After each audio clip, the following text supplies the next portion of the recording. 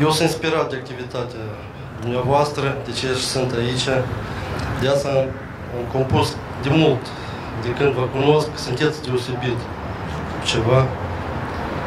Am compus o poezie mică, să iasă din casa acela ce zace, ce bine să fii cu poporul în gând.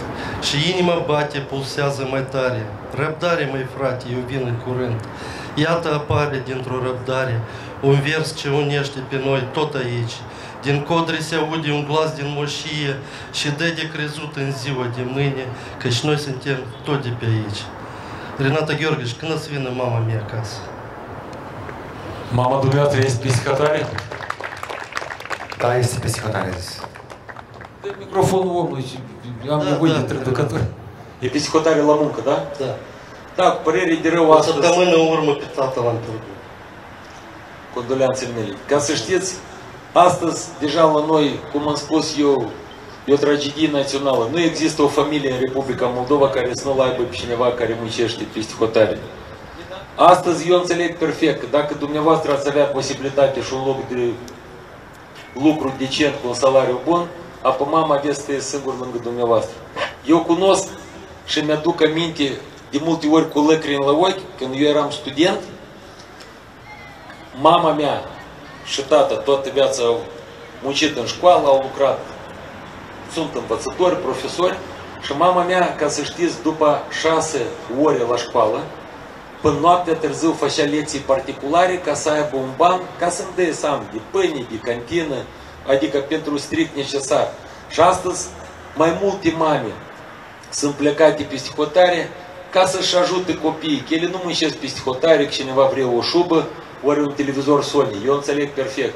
Ele sunt că ele nu pot privi în ce situație se află un copil și orice mamă să muncește până la urmă. Eu cred că este datoria noastră națională ca să facem tot posibil ca cetățenii să se întoarcă acasă și să nu plece. Eu știu ce înseamnă să muncești peste hotare. Cum am spus, știu ce înseamnă să treci șes într-o cameră, ce înseamnă că ne prindeau fără registrație și ne luau la miliție și ne țineau că să fac planul și multe altele. Eu cunosc astăzi perfect că majoritatea cetățenilor și în diaspora, în statele UE și în Federația Rusă lucrează ilegal. Pentru a-și salva copiii, pentru a le cumpăra un caiet, un creion sau să le să aibă pâine pe masă.